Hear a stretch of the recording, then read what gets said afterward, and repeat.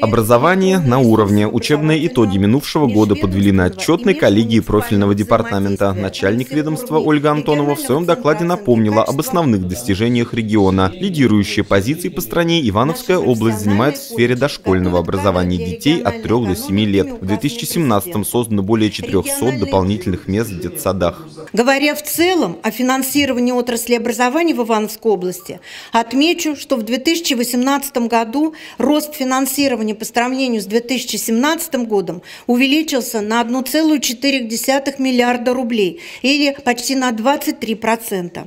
Коллеги, важно на всех уровнях образования, управления образованием эффективно использовать целевые средства.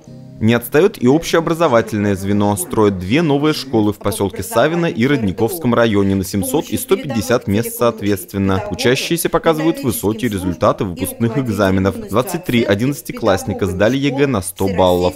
Серьезная работа ведется и в сфере доп. образования. Особое внимание уделяется техническому развитию юных ивановцев.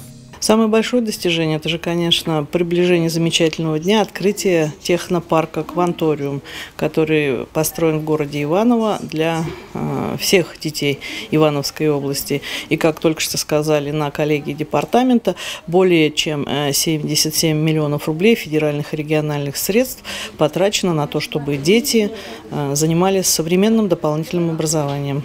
Несмотря на увеличение финансирования отрасли, оклад педагогов по сей день остается сравнительно скромным. Раньше, чтобы заработать, учителя были вынуждены брать дополнительные часы. Теперь задача администрации школы – снизить преподавательскую нагрузку. Хочу сказать, что средняя нагрузка педагогов школ Ивановской области по итогам 2017 года составляет 1,3 ставки или 23,5 часа педагогической нагрузки в неделю, а не 36 часов, как объявляется на некоторых дискуссионных площадках. В прошлом году Владимир Путин подписал указ об объявлении в России десятилетия детства. За это время, помимо прочего, и система образования должна качественно преобразиться в лучшую сторону. Максим Серебряков, Антон Осипов, РТВ Иваново.